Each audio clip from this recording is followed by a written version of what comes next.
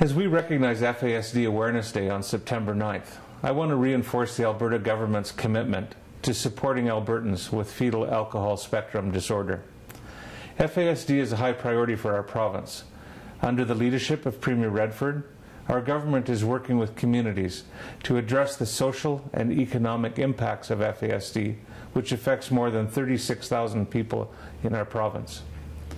Tremendous strides have been made over the last six years as Alberta continues its leading work on a 10 year plan to address challenges for people living with FASD, as well as for their families and caregivers.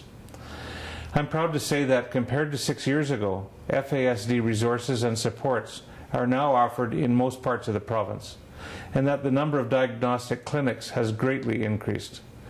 In addition, more training and education about FASD is available to professionals, caregivers, and others who are working to provide better services that fit the unique needs of people living with FASD. This means that more women are being supported to have healthy pregnancies, and it also means that more people with FASD are receiving a diagnosis that can lead to services and supports to help them achieve success in their lives.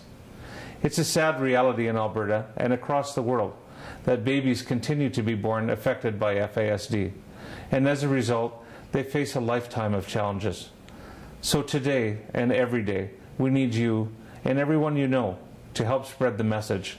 It's not safe to drink alcohol during pregnancy. Thank you.